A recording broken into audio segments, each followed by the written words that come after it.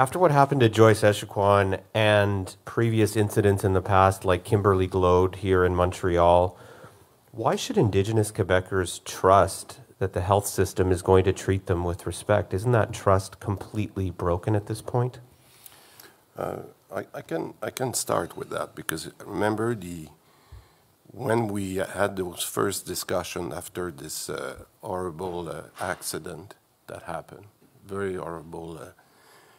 Uh, I think that uh, I said clearly that was in our court to um, to get the confidence back from uh, those communities, and uh, I I accept what you're saying that there was a there was an issue of trust and what happened to uh, Joyce Echaquan is, is an example of that. So we agree on that. But what we said to the community and in those, I don't know, five or six conversations that we had together uh, with those chiefs in the last uh, month, we said clearly that we will prove to you, really by our action, that we want to change.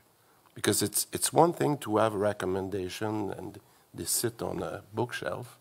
But I think it's what we're showing you today is that we are concrete in action. We were discussing how that we can have this uh, uh, liaison agent that will be, and I can tell you that the the offer for that uh, job was already posted in in in Joliette.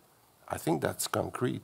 I, I'm asking, and I will follow we have a deputy minister that is responsible in our healthcare system that is responsible for uh, all those issues, and we will look at the 75 or 76 recommendation within the, the Commission Viens that we will implement over the, the next few months. So I think the action will, will prove that we're there. That's what we start today.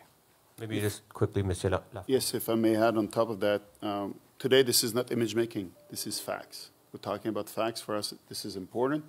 And uh, I said that earlier in French, but the name of the plan is I hope. Let's hope for the future. We're working for the future. We're not going to change 150 years of history. Um, we've been working with different nations uh, because we think it's important.